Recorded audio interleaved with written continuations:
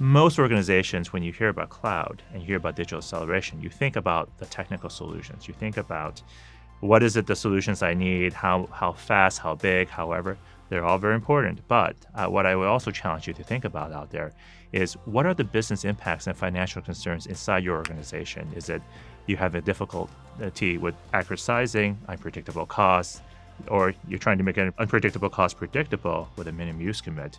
Uh, and then having challenges there, or you know, it's just simply you can't move fast enough because you've got procurement delays and there's excess overhead from you know, the procurement department. There's excess overhead for other things to try to get license management and be optimally fast and efficient with that, right?